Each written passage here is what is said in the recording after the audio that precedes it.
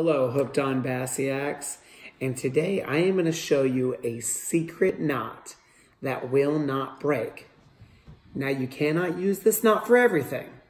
All right. So for instance, if you're doing a moving bait like a spinner bait, rattle trap, jerk bait, uh, top water, this is not the knot for this. Okay. Where you want to use this, shaky head, slow presentations like a jig, shaky head. Um, anything where you're kind of crawling on the bottom, a crawler head from Spot Sticker. I like to use that a lot. Uh, a tube, this is great for a tube. Anything where you're moving along the uh, along the bottom, crawfish type imitation, worm imitation.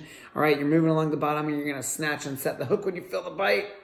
All right, but no moving baits. All right, so four tube, worm, jig, this knot right here.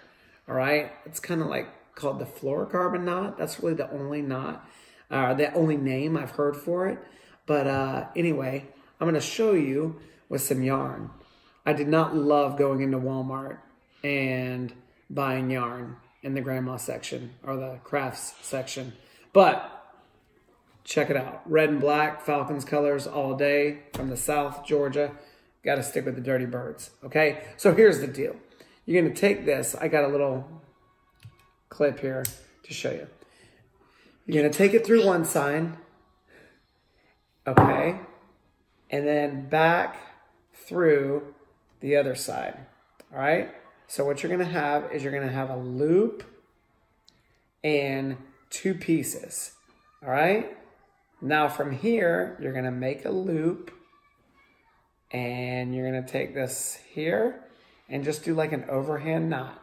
Now the key is you want to leave enough space on that overhand knot. And now take the loop part that you have here and wrap it around these. One, I like to do three times.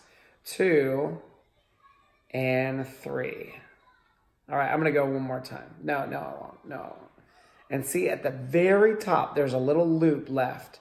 All right, and what we're gonna do is we're gonna take that loop that we did the, the uh, did around and we're gonna pull it through that top loop that we had pinched, okay? And then from there, just pull that, cinch it up a little bit, and then pull the two tag ends and pull it down. Thank you, buddy. All right? And it's going to cinch all the way up. Boom. Now, what you're going to have here, right? Looks a little bit better with fishing line. What you're going to have is this loop here, and you're going to have one more tag end, okay? And obviously you gotta cut, you can't leave that all on there. So we're gonna cut all that off, okay? As you can see, clear that bad boy right there.